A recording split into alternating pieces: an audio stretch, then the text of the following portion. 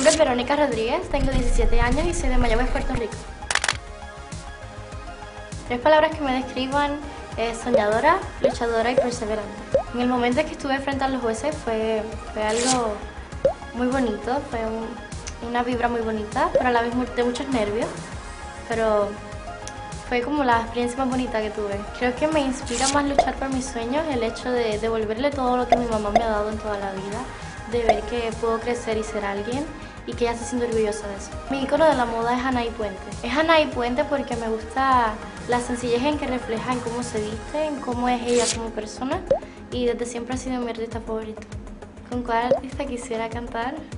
Creo que con todos mis jueces.